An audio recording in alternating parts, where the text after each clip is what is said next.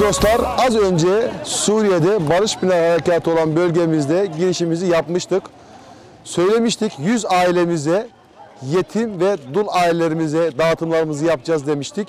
Şimdi görüyorsunuz yağmurun altında hanım kardeşlerimiz ve yetim kardeşlerimiz görüyorsunuz battaniyelerini, gıda kollerini, botlarını ve montlarını burada da gıda kollerini takdim etmek üzere yağmurun altında soğuk kış günlerinde burada kardeşlerimize bir nebze olsa da mutluluk ve sıcak bir yuvalarına odunlarını, kömürleri götürsünler diye sizlerin vermiş olduğu emanetlerinizi takdim ediyoruz.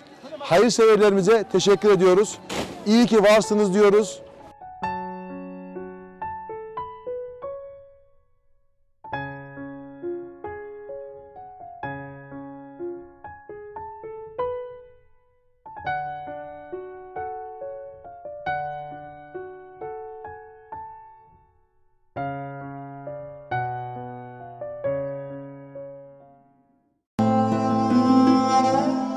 Kimsesizliğin ve yokluğun en çok da çocukları vurduğu Suriye'de anne babaları katledilmiş çocukların titreyen bedenlerini saracak vicdan arıyoruz.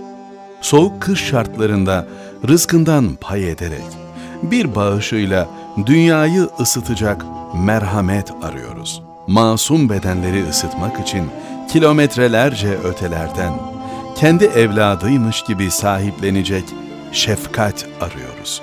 Sen de bir bağışınla masum evlatlarımızı soğuk kış şartlarından koruyabilirsin. Ribat İnsani Yardım Derneği Online bağış ribatinsaniyardım.org İletişim 444 42 18 0332 351 84 84 Çocukları soğuktan korumaya engel değil mesafeler. Sıcacık bir hayat için bir bağışın yeter.